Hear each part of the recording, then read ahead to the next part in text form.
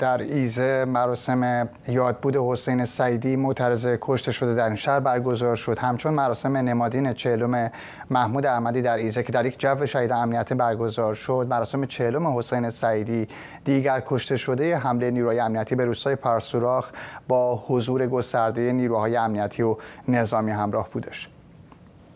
حکومت فاسد جمهوری اسلامی ببین به چه روزی افتاده که وحشی سرکوبگرش رو به سوسن حتی روسه های کوچیک میفرسته.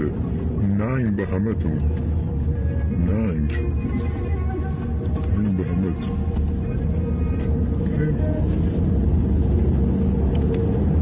ننگ به همه تون ننگ به همه تون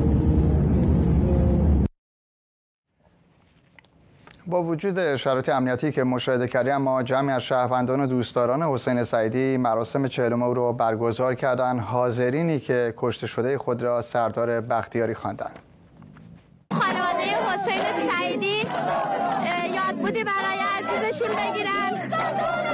ما داریم روی این کوه